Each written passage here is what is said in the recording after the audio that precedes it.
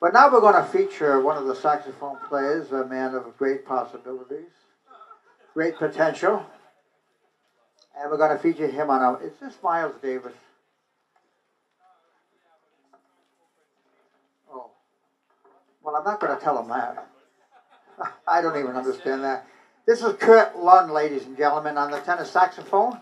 And we're going to feature on a rather up-tempo thing called Tune Up. Tune Up.